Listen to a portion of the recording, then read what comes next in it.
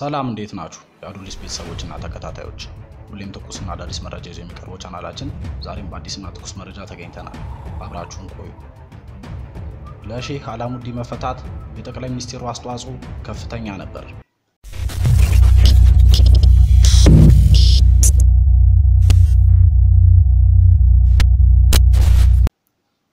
በትውልድ ኢትዮጵያዊና የሳውዲ ዜግነት ያላቸው ቢሊዮኔሩ ሼህ መሐመድ ሁሴን አላሙዲ ትላንት ከእስር ከተለቀቁ በኋላ ከሪያድ ወደ ጅዳ በማቅናት ከቤተሰባቸው ጋር ተቀላቅለዋል። የሳውዲ መንግስት ያካሄደውን የጸረ ሙስና ዘመቻን ተከትሎ ከበርካታ ንጉሳዊ ቤተሰቦችና ከበርቴዎች ጋር ተይዘው ከ14 ወራት በላይ በስር ያሳለፉት አላሙዲ እንዲፈቱ ጠቅላይ ሚኒስትር አብይ ከፍተኛ አስተዋጽኦ ማበርከታቸውን ጠበቃቸው አቶ ተካ አስፋው ለቢቢሲ ተናግረዋል። አቶ ተካ ትናንት እሁድ በስልክ ተገናኝተዋል። ጤናቸውም በጣም ጥሩ ሁኔታ ላይ ይገኛል። ከቤተሰቦቻቸውም ጋር ተቀላቅለዋል ያሉ ሲሆን ወደ ኢትዮጵያ መቼ ሊመጡ ይችላሉ ተብሎ ሲጠየቁ ወደ ኢትዮጵያ መምጣታቸው አይቀርም፣ ነገር ግን መቼ እንደሚመጡ በእርግጠኝነት መናገር አልችልም ሲሉ የአላሙዲ ጠበቃ አቶ ተካ አስፋው ተናግረዋል። ካለፈው ግንቦት 2009 ጀምሮ አሊ አላሙዲ ከእስር እንዲፈቱ ጠቅላይ ሚኒስትር አብይ ጥረቶችን ሲያደርጉ እንደቆዩ የሚናገሩት አቶ ተካ ጠቅላይ ሚኒስትራችን ከአንዴም ሁለቴ ቦታው ድረስ ተገኝተው ከሳውዲ ባለስልጣናት ጋር ውይይት አድርጓል። ከዚያም በኋላ በነበራቸው ግንኙነት ከፍተኛ ጥረት እንዳደረጉ ነው የምናውቀው። ለመፈታታቸውም የእሳቸው ጥረት እንዳለበት ነው የተረዳ ነው ብለዋል። የጠቅላይ ሚኒስትሩ ጽህፈት ቤት የፌስቡክ ገጽ የባለ ሀብቱን ከእስር መፈታት ይፋ ባደረገበት ጽሁፍ ጠቅላይ ሚኒስትር አብይ ግንቦት 2010 ዓ.ም መሐመድ ሁሴን አሊ አላሙዲ ከእስር ለማስፈታት ጥረት እየተደረገ መሆኑንና በቅርቡም ወደ ሀገራቸው ይመለሳሉ በማለት በሚሊኒየም አዳራሽ ያደረጉን ንግግር አስታውሰዋል። የጠቅላይ ሚኒስትሩ ጽህፈት ቤት ጨምሮ አሊ አላሙዲ በሰላም እንዲመለሱ መልካም ምኞቶቻችንን እንገልጻለን በማለት አስፍሯል። ከ14 ወራት በፊት ከአላሙዲ ጋር በሙስና ወንጀሎች ተጠርጥረው በቁጥጥር ስር ውለው ከነበሩት መካከል ጥቂት የማይባሉ ከበርቴዎች መጠኑ በይፋ ያልተገለጸ ነገር ግን ካላቸው ሀብት ከፍተኛ መጠን ያለውን ገንዘብ ለሳውዲ መንግስት ሰጥተው ከወራት በፊት ከስር መውጣታቸው ይታወሳል። ከዚህ አንጻር ሼህ አላሙዲንም ከስር ለመፈታት ከፍተኛ ገንዘብ ከፍለዋል ወይ ተብለው የተጠየቁት ጠበቃቸው አቶ ተካ ከፍለዋል ብዬ ለመናገር ይከብደኛል። የተፈቱበትን አኳን ዝርዝር ሁኔታ ስለማላቅ ይሄ ነው ብዬ መናገር አልችልም። እኔ ግን ከፍተኛ ገንዘብ ከፍለዋል ብዬ አላምንም። ጠቅላይ ሚኒስትሩ ግን ለመፈታታቸው የማይናቅ አስተዋጽኦ አበርክተዋል ብለዋል። ጥቂት ስለ ሼህ መሐመድ ሁሴን አላሙዲን እስቲ እናውጋ። እንደ ፎርብስ መጽሔት ከሆነ ሼህ መሐመድ ሁሴን አላሙዲን ከሳውዲ ዜጋው አባታቸውና ከኢትዮጵያዊት እናታቸው በደሴ ከተማ ነው የተወለዱት። ፎርብስ የአሊ አላሙዲንን ዕድሜን 72 የሚደርስ ሲሆን የሀብት ምንጫቸውን ሲገልጽ የነዳጅ ዘይት፣ የተለያዩ ምንጮችና በራሳቸው ጥረት ሲል ያስቀምጠዋል። የሳውዲ አረቢያ ዜግነት ያላቸው ሼህ መሐመድ ሁሴን አላሙዲን ቋሚ የመኖሪያ አድራሻቸው ጅዳ ሳውዲ አረቢያ ሲሆን መጋቢት 2017 በነበረው በፎርብስ የቱጃሮች ዝርዝር ውስጥ አሊ አላሙዲን የተጣራ 10.3 ቢሊዮን ዶላር ንብረት በስማቸው በማስመዝገብም ከዓለም 159ኛ ደረጃ ላይ ተቀምጠው ነበር። ይሁን እንጂ ፎርብስ እንደ አውሮፓውያን አቆጣጠር ማርች 2018 ላይ ሼህ መሐመድ ሁሴን አላሙዲን ሀብታቸው የትኛው እንደሆነ በትክክል ማጣራት አልቻልኩም በማለት ከቢሊዮነሮች ዝርዝር ውስጥ ሰርዟቸዋል። የደርግ ስርዓት ተወግዶ ኢህአዴግ ሀገሪቷን ከተቆጣጠረ በኋላ ወደ ትውልድ ሀገራቸው በመምጣት መዋለ ንዋያቸውን ያፈሰሱት ሼህ መሐመድ ሁሴን አሊ አላሙዲ በኢትዮጵያ በተለያዩ የመዋለ ንዋይ ዘርፎች ተሰማርተው ግዙፍ የኢንቨስትመንት እንቅስቃሴን የማያካሂዱ በርካታ ኩባንያዎች አሏቸው። ሼህ መሐመድ የሀብት ምንጭ በዋነኝነት የነዳጅ ዘይት ይሁን እንጂ በማዕድን፣ በግብርና፣ በሆቴል፣ በግንባታ፣ በሪል ስቴት፣ በሆስፒታል፣ በስልጠና ምርምር፣ በፋይናንስና በመሳሰሉ ዘርፎች በተለይ በአሜሪካ፣ በአፍሪካ፣ በመካከለኛው ምስራቅና በስዊድን ተሰማርተው ይገኛሉ። ግለሰቡም በዓለም ዙሪያ ባላቸው ኩባንያዎች ውስጥ ከ200 ሺህ በላይ ለሆኑ ሰራተኞች ስራ መፍጠር የቻሉ ሲሆን በኢትዮጵያ የሚገኙ ተቋሞቻቸው ቁጥርም ከሰባ በላይ መድረሱንም በዚህ ከ40 ሺህ በላይ ለሚሆኑ ኢትዮጵያውያን የስራ ዕድል ማስገኘታቸው መረጃዎች ያመለክታሉ። ከውጭ ቋንቋዎች አረብኛ፣ እንግሊዝኛና ጣሊያንኛ ይናገራሉ። ከሀገር ውስጥ ደግሞ አማርኛ፣ ትግረኛን ቋንቋው አቀላጥፎ ይናገራሉ። አላሙዲ በስዊድንና ሞሮኮ የነዳጅ ማጣሪያዎቻችን በመግዛት ቅርንጫፎችን በመክፈት ስራቸውን ከማስፋፋታቸው በፊት በኮንስትራክሽን እና real estate ዘርፍ ተሰማርተው ነበር። በአሁኑ ወቅት በስዊድን ስመ ጥር ከሆኑ የውጭ ባለሀብቶች መካከልም የሚጠቀሱም ናቸው።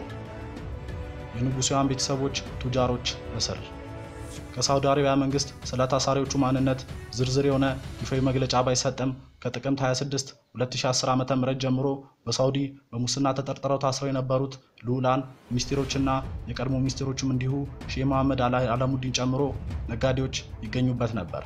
በተለያዩ መስኮች ተሰማርተው በሚገኙት ግዙፍ ተቋሞቻቸው ውስጥ በሺዎች የሚቆጠሩ ዜጎች ተቀጥረው የሚያሰሩት የባለጸጋው አላሙዲን መታሰር በተሰማበት ጊዜ በድርጅቶቻቸው ውስጥ ስጋትና ግራ መጋባትን አስከትሎ ነበር። የባለ ሀብቱ ተቋማት ለሀገሪቱ ኢኮኖሚ ያላቸውን አስተዋጽኦ በተለያዩ አጋጣሚዎች ሲያወድስ የሚሰማው የኢትዮጵያ መንግስትም ግለሰቡ ድንገት መታሰር የተሰማውን ብዙም ሳይዘገይ ነበር ይፋ ያደረገው። በወቅቱ ጠቅላይ ሚኒስትር የነበሩት ኃይለማርያም ደሳለኝ ከግለሰቡ መታሰር ከቀናት በኋላ ስልጣናቸውን ከቋፍ ላይ አድርሶት ከነበረው ህዝባዊ ተቃውሞ ጋር አያይዘው በሰጡበት መግለጫ ላይ መንግስታቸው ጉዳዩን በተመለከተ እጁን አጣምሮ እንዳልተቀመጠ ገልጸው ነበር።